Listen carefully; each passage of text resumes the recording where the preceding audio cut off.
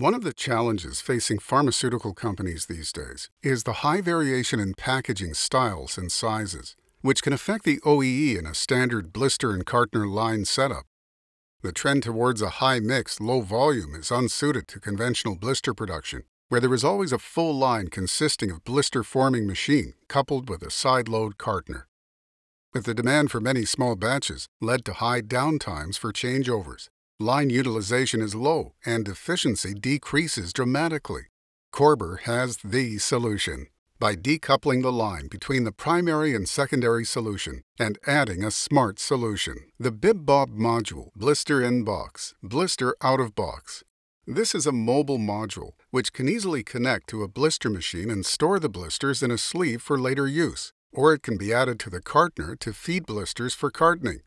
By decoupling the blister production process, it means you gain much greater efficiency creating the bulk blisters as normal, but then creates lots of opportunities for secondary packaging.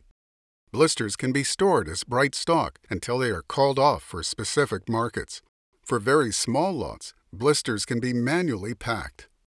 In some cases, blisters can be produced at one plant and sent to another secondary packaging plant within the network where local market demand can be serviced more efficiently. Körber's LSC solution is the smartest way to ease the challenge of high mix, low volume packaging. So let's check the advantages of Körber's late stage customization.